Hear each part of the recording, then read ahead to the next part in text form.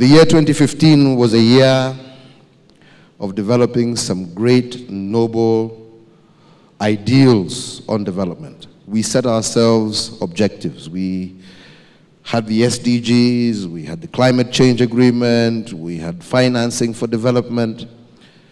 We set ourselves some very lofty objectives and goals. And let's say that today, we're back in Nairobi talking about implementation at this UNCTAD meeting.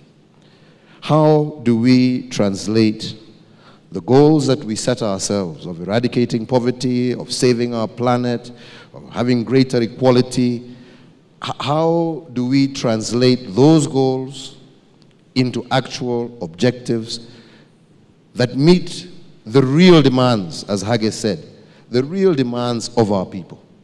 Because our people will not eat conferences. Our people want an end to poverty. Our people want shelter. Our people want food. Our young people want jobs. How do we practically tackle these objectives? The core question is how do our international partners join us now in this effort?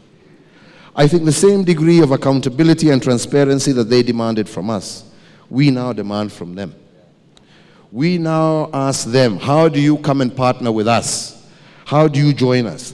Let us move from excuses and blame game to a position where we now should partner. And the most amazing thing is that as Africa moves, we're seeing the rest of the world retreat.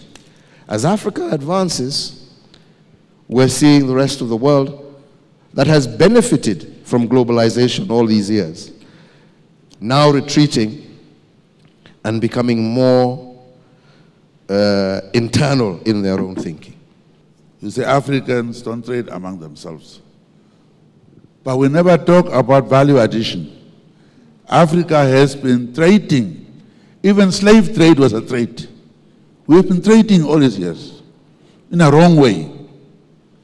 So unless we add value to our resources and therefore trade in finished products, Botswana and Namibia are both producing beef, diamonds. How do we trade? Unless we add value to diamonds. So Botswana may have beautiful ones, therefore I may buy from them. But as long as we are trading in raw materials, where we just come to Namibia, take the diamonds or in a raw form, take it out, add value somewhere else, you create jobs there, no transfer of technology to Namibia from their own resources, but somewhere else. Same with everything. Rome, marble going out from Namibia to Italy. Value added, then we buy the tiles thereafter. So the issue will be value addition. So to a large extent, we are trying to live the talk. We're trying to be responsive to the challenge of becoming fit for purpose. But again, we are a membership-driven organization.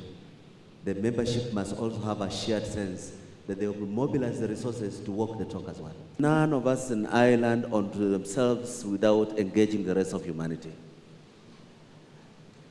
The challenges that global goodwill has encountered in the past year do not negate the call for international solidarity, but that the international leadership is a challenge to us to pull the rug from under the feet of snake oil salesmen who are beating up hysteria, who are constructing walls instead of bridges, that our international solidarity in dealing with shared humanity challenges and pursuing shared goals is not reversed by short-term challenges to the nature of globalization we've been having.